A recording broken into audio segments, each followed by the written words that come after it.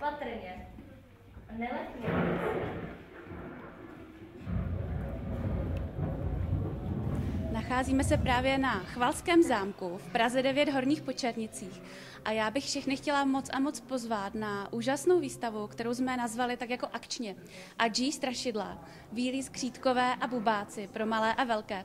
A jak už název říká, tak výstava je opravdu pro všechny. Máme tady malé děti, protože malé děti budou nadšeny ze sklepení, protože ve sklepení jsou skříci a víly Vítězslavy Klimtové a ti skříci jsou takový hodní a milí a je tam i vlastně nebevíl a peklo čertíků a je to takové laskavé.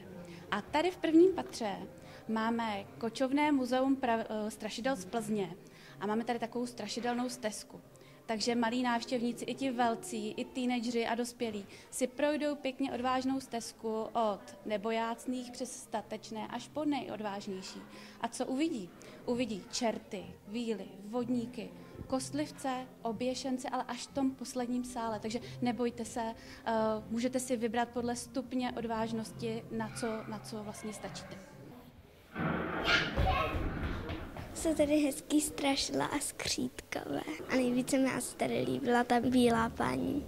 Tato výstava eh, není jen o prohlížení, je taky o hrách. Máme tady interaktivní hry v jednom tom sále a pro malé děti strašidelné omalovánky. A na chodbách nám visí vlastně nejlepší díla soutěže o nejlepší zámecké strašidlo, která se dětem a dospělým taky moc líbí. Takže si myslím, že strašidelný je skutečně celý chvalský zámek, takže všichni vyrasté do Horních Počernic, srdečně zveme. Strašidelná výstava na Chvalském zámku potrvá až do začátku dubna. Pokud ovšem chcete zažít ještě něco dalšího speciálního, přijďte 15. nebo 16. února, kdy vás bude provázet samotná popelka a nebo rytíř v opravdovém brnění. Martina Pavelková, televize Metropol.